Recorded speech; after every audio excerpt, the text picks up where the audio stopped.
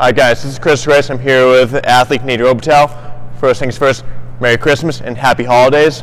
So for today we're going to go over the half kneeling external rotation and scapular plane. So one thing we see a lot of with players and athletes standing up is they get a lot of arching, a lot of pulling down with their shoulders. So I'm going to have Nate go down on his left knee, right leg forward.